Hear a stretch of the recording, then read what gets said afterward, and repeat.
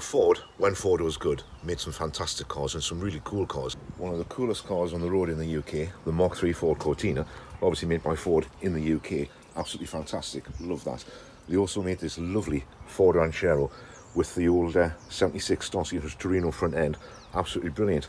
Great daily driver that as well. And they also did this, the Mustang. Now it's a fantastic car.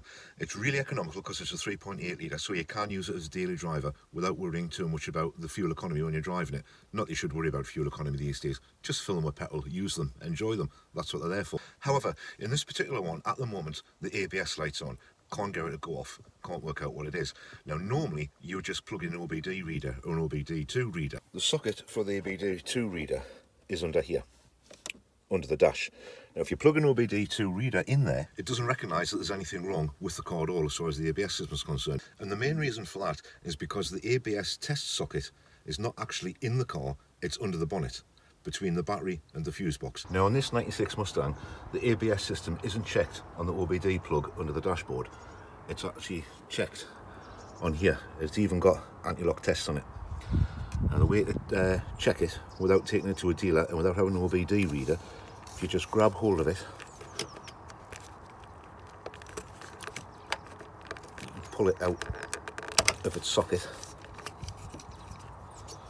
take it to one side turn it over those three wires you want now those three wires you want that black one and the orange one with the white stripe you also need one of these just an ordinary paper clip and you want to bend it to look like that and you just got to short out the black wire and the orange one and the white stripe.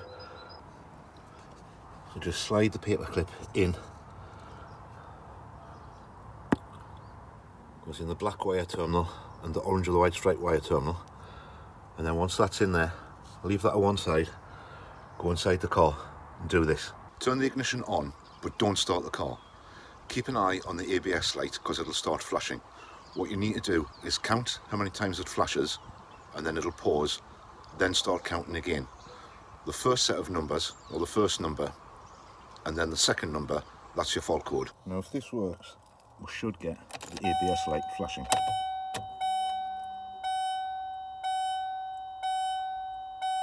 one two three four five six pause one pause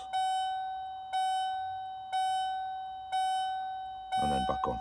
So in the video you'll see when I'm counting it that the first set of flashes on my ABS light was the number six. So it flashed six times, then there was a pause. And on the second set of flashes, it only flashed once. And then there was another pause and the light came back on and stayed on. So that gives me an error code of 61. Now error code 61 is a power supply fault to the ABS pump or the ABS pump relay. But where the hell's the ABS pump relay? Can it find it anywhere? Now, when I was trying to find the information on what's wrong with the ABS and how you check the ABS, I posted a couple of comments on a couple of the forums or the pages on uh, on, on, Facebook, one of which was uh, a group by the name of Simply Mustangs. Now, a very helpful lady by the name of Jan. Hi, Jan. Thanks for getting in touch. Thanks for sending us the information. And uh, obviously, I'll, uh, I'll put this video out a little bit later on tonight so you can see or so you and Phil can see exactly where the ABS socket is to do all the testing. But thanks for getting in touch.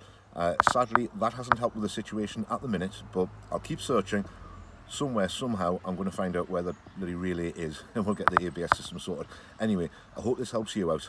Now, John said that the relay was the last one on the right, on the bottom row, on the far right of the fuse box under the bonnet.